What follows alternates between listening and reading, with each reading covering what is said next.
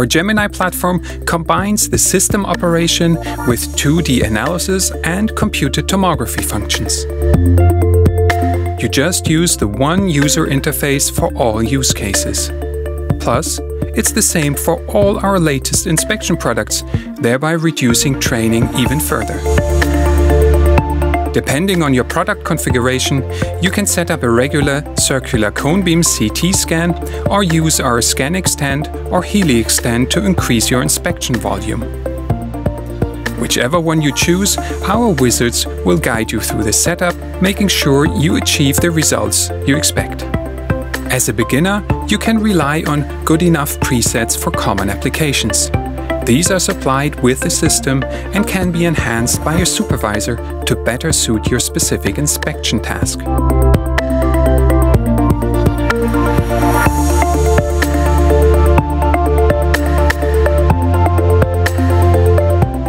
Experienced CT users might want to tweak the settings to get an even better scan quality.